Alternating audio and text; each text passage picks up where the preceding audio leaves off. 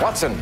What is narcolepsy? You are right, and with that, you move to $36,681.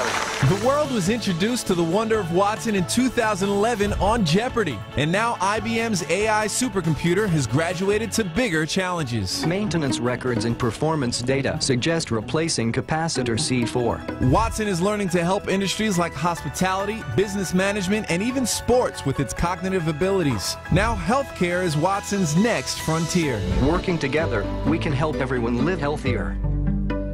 First up, Watson for Oncology is helping cancer patients find the best treatment. So it uses that natural language processing again to actually go through and read in the data from a patient's electronic medical record. And then it goes through and it, it's read all the journal articles, it knows about all the latest clinical trials that, that are out there, and it can provide the best evidence based recommendations that the doctor can then discuss with the patient to help choose the appropriate treatment. IBM Watson Health's Kathy McGroddy-Goetz says with medical information doubling every two years, Watson's processing power is helping patients around the world. We've touched 12,000 patients with our oncology solution alone in less than a year. Next, remember this?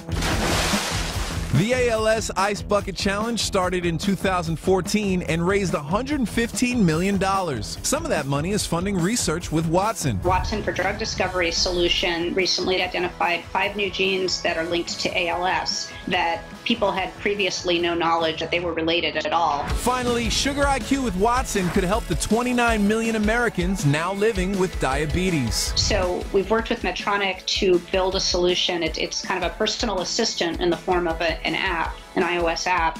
And what it does is it actually takes data that comes from their continuous glucose monitor device and it actually generates insights. They can log their food and, you know, it tracks their activity and lots of other things. And so it starts to detect these patterns like, you know, you tend to go low every day after two in the afternoon. Watson is conquering our medical frontiers, but will not be replacing human physicians. But it's more like you're giving Watson a seat at the table with those doctors. Watson Health is elementary on the breakdown.